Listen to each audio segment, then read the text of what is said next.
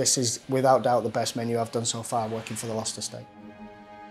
My name's Ash Clarke and I'm the executive chef for the Great Murder Mystery.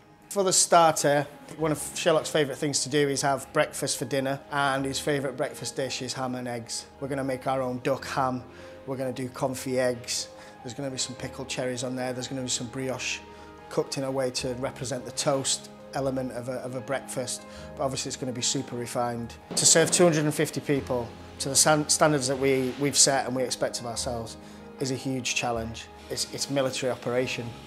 Everything has an exact process, time and temperature attached to it. And every person in the kitchen knows their role. And it's also a huge accomplishment when we finish service, we're wiping down and we know we've done the best we can do. Main course is this amazing free range Yorkshire chicken breast and with that we're going to stuff that with a chicken and, and black truffle mousse. We've got Pommes Anna which is this like layers of potatoes and duck fat and thyme which is pressed and then deep fried to become super crunchy. A pea tart, lovely light little pea tart and then this beautiful chicken jus to bring it all together. So with the main, the idea is that you're attending a press conference at Sherlock's home. So Sherlock asks Mrs Hudson to get in touch with his favourite restaurant, which is Simpson on the Strand, and to get, get the chicken dish and see if they could deliver the chicken dish to Baker Street. Not that I think takeaways were a big thing back then, I can't imagine Deliveroo were doing much back in Victorian England. Everybody within the company, from the founders down to myself, we're not saying yes as easily to things. So the challenges have been the amount of presentations and tastings and ingredients and going back to the drawing board over and over again.